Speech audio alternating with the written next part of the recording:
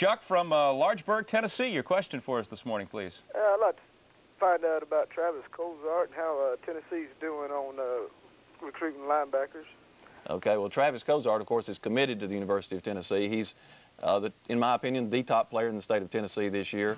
Uh, Cozart is uh, from Lenoir City High School in Lenoir City, Tennessee. He's six feet two, weighs about 215. But the thing that's impressive about Travis is the fact that even though you'll see him a, lot here as a running back, almost everybody predicts that he'll be a defensive back in college. And because of that, you have to just be amazed at the size this guy has. This is Travis running the football right here. Does have tremendous size. Oh, he's a great player, very agile guy, and he can catch the ball too. He could be a wide receiver.